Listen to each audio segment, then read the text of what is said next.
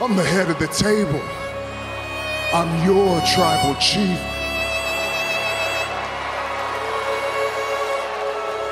And I'm the greatest of all time. There's no one left. There is no one left. I've beaten them all. The whole world will acknowledge me.